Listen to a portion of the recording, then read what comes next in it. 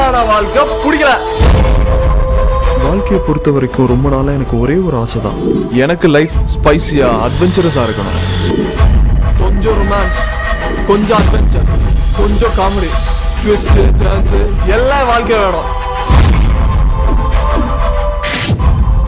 இனி உன் வாழ்க்கையில் நடக்க போகிற எதுக்கும் நான் பொறுப்பு கிடையாது.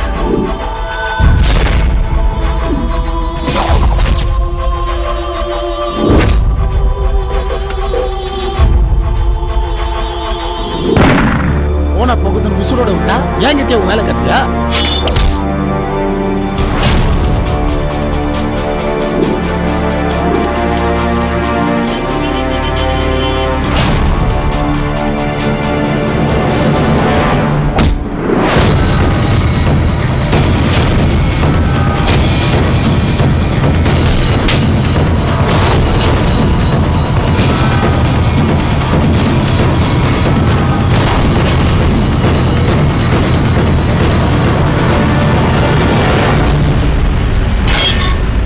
வாழ்க்கையை நான் அங்கங்கே நம்ம எதிர்பார்க்காத ஆச்சரியங்கள் நிறைய இருக்குன்னு எனக்கு நல்லா தெரியும்.